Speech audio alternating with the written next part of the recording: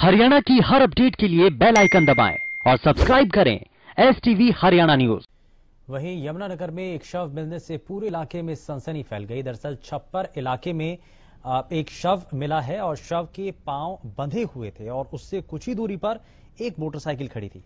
युवक की शिनाख्त तेजपाल नाम के शख्स के रूप में हुई है। पुलिस ने मृतक के परिवार को सूचना देकर शव पोस्टमार्टम के लिए भेज दिया है और आगे की तफ्तीश शुरू कर दी गई है।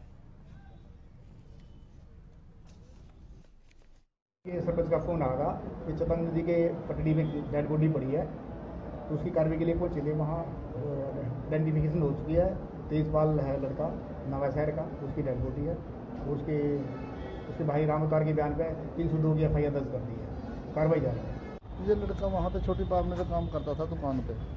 दुकान से आया, हमारे को तो सवेरे पता चला कि ये उसकी डेड बॉडी वहाँ पड़ी है, किसी ने मार दिया उसको। ये तो पुराने रंजिश के कारण मारा जिसने मारा।